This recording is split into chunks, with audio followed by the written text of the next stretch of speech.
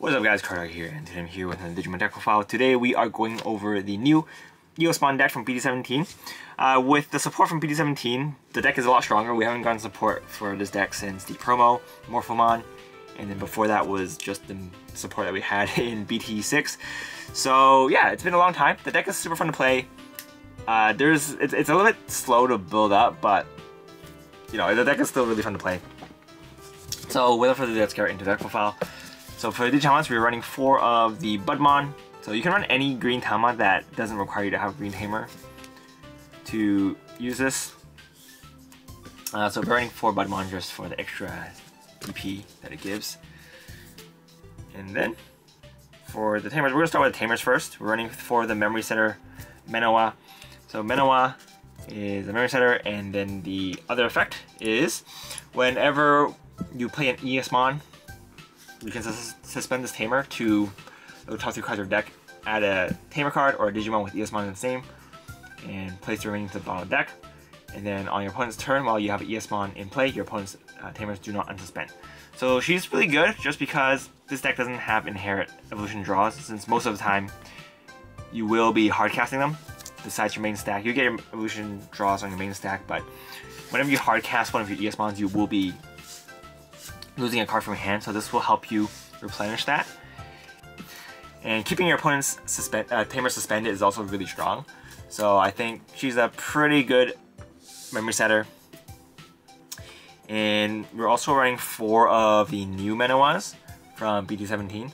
So she's got an on-play ability, which is by trashing a Morphomon or Eosmon from your hand, you can draw two, so you can use her to dig through your deck.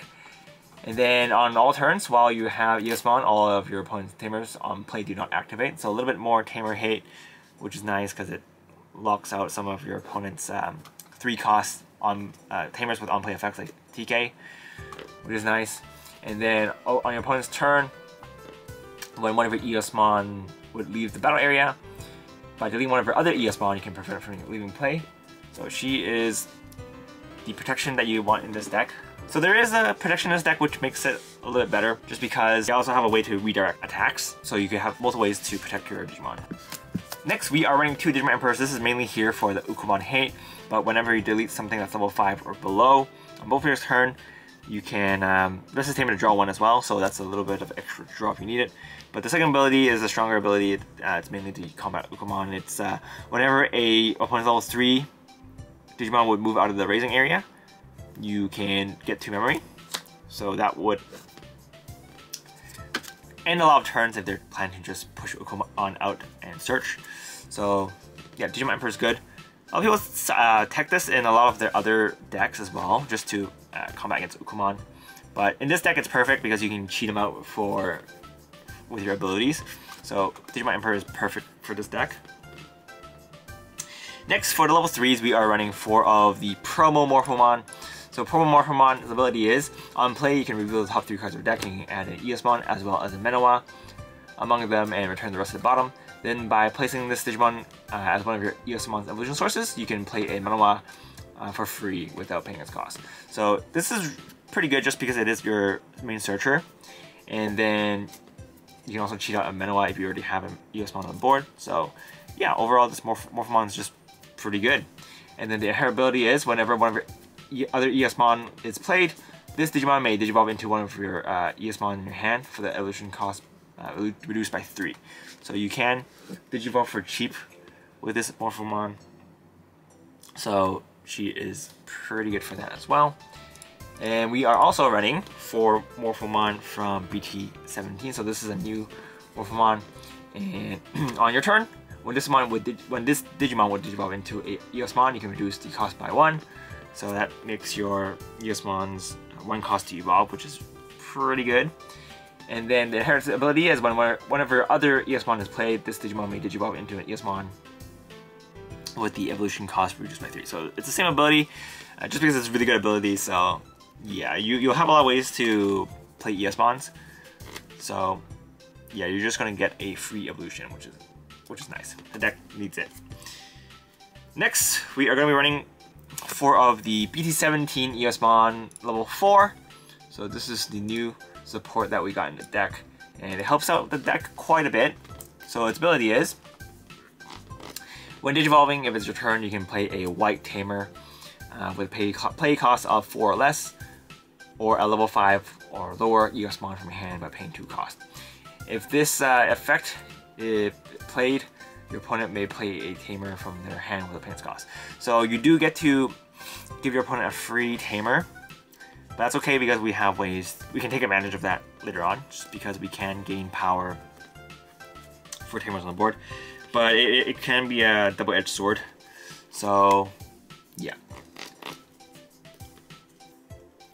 Next, uh, for we're also running four of the BT6 Eosmon, so this is the old one. On play, you can play a White Tamer without uh, with the pay cost of 4 or less from your hand without paying its memory cost, and then your opponent may pay with Tamer as well. So again, this is a double-edged sword. But this one is an on-play ability, so most of the time you will be hardcasting this while you'll be uh, evol evolving this. So there is that. But this one combos with your Eosmons a little bit more just because when you evolve into this, you can choose to play a Eosmon instead, and which uh, which will let you digivolve into another Eosmon, which is which is nice. And then the oh, I forgot to talk about inherit abilities. Sorry about that. So the inherit ability for this Eosmon, this one here, lets you switch targets. So when an opponent's Digimon attacks, you may switch the attack target to one of your Eosmon. So if you're it's attacking your main stack, you can change it to a to one of your fodder Eosmon just because uh, you are prone to battle. So yeah, you'll, you'll move it, uh, just redirect attack, especially against decks that can raid. It's pretty good. So there's that, and then this Eosmon's ability is uh, this one is uh, whenever you, when attacking, you can play a White Tamer with a play cost of 4 or less from hand with a Plane's Memory cost. So again, you can cheese out all your Menoas and your Doom Emperor, which is really nice. And then for the other level, for the level 5s, we are running four of the new level 5 Eosmon from BT17. So this one, on play on evolution, you can, uh, your opponent may play a Tamer from the hand without paying the memory cost. If they don't, you can play a white tamer with the play cost of 4 or less without paying memory cost, and then you can de-digivolve one of your opponent's uh, Digimon for every two tamers. So you can use this to kind of remove, quote-unquote remove, uh, really sticky cards. Uh, of course, if they are immune to abilities, you still can't remove them, but if they have like area removal abilities, you can kind of just rip the, the top cards off just so you can it can make your make your day a little bit easier. Uh, but yeah, so we're running four of those, and a hair ability is just a change target ability as well. So yeah, it's good. And then for the other cards, we are running 1, 2, 3, 4, 5, 6, 7, 8, 9, 10, 11, 12, 13. 13 Eosmon from BT16. This is the, these are bullets. You, you want to have these in your hand, so you can slap them out with your abilities. So you can have as many as you want. This this slot is pretty flexible. If you want to like have some spicy text, these are the cards to take out.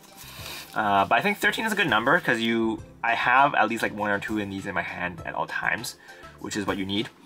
And the ability is whenever, whenever this card attacks, you can uh, play a level 5 or lower Eosmon with a maintenance cost. And then her, her ability is just to give your give this Digimon plus 1k. So it's simple. They don't have Rush. If they have Rush, they will be too good. This deck will be like super good if they have Rush. But no, you have to uh, attack with it, spawn one, um, and then that can't attack until next turn. So you're going to be slowly building your army because if they can't get rid, of these, the, the turn after that, you can attack with two, which will spawn two more. And then by the time if they can't get rid of this, it's, it's game. So yeah, this, this deck you need a snowball with this deck. So you want to get your get your tower out as soon as possible to get your shenanigans ready. And then for the level 6, we are running 4 of the Eosmon from BT-17. So running, this is the only level four, uh, 6 we're running because it's the only level 6 that we need. When digivolving, uh, when attacking once per turn, you can play a Eosmon from hand without paying its cost. And then once per turn, whenever one of your Eosmon is played, you can delete one of your opponent's Digimon with as much or less DP than that Digimon. And then the third effect is for each tamer, all of your Eosmon get plus 1000 DP. So that's why you want to have as many tamers on the board as possible, because you can make these into absolute monsters, which will then let you pop something really big on your opponent's board every turn. And if that doesn't work, if you can't pop them, you can de-digivolve them and then pop them afterwards. So it's good, it's pretty solid. And for the option, we're running three Cutting Edge. So Cutting Edge lets you play a level 5 or lower Eosmon from your hand without paying its cost, and then you can delete one of your opponent's Digimon with DP less than or equal to the play Digimon. So this, again, combos with the new Eosmon because it will be getting the DP power, the DP plus, as as soon as you it hits the board with this ability. So it'll be able to pop, you'll be able to pop as well as getting an extra body on the board. So it's pretty solid. So overall, this deck, um, it's pretty fun to play, but it's very, the playstyle is very linear, so there's a lot of ways to play around it. And obviously there are times where you you will brick. You might draw one too many of these Eosmon, and then you'll be well, I guess I'm just gonna hard cast this and swing, and then hope something happens. But it is a fun deck. This is probably one of my favorite gimmick decks to play. There's a lot of gimmick decks in Digimon, but I think this one is, is pretty, it's pretty funny. It's a pretty funny deck to play. And yeah, that is pretty much it for this deck profile, guys. Hope you guys enjoyed it. If you have any questions, feel free to leave a comment down below. And if you want to support the channel, feel free to join the membership program. Uh, if you guys are wondering where I got my playmat, you guys can join membership and the template for the the template for the playmat will be on the there for the membership members. And you can also use the affiliate links down below if you want to support the channel as well. But that is pretty much it for this uh, deck profile, guys. Hope you guys enjoyed it. This is Card and I'll see you guys next time.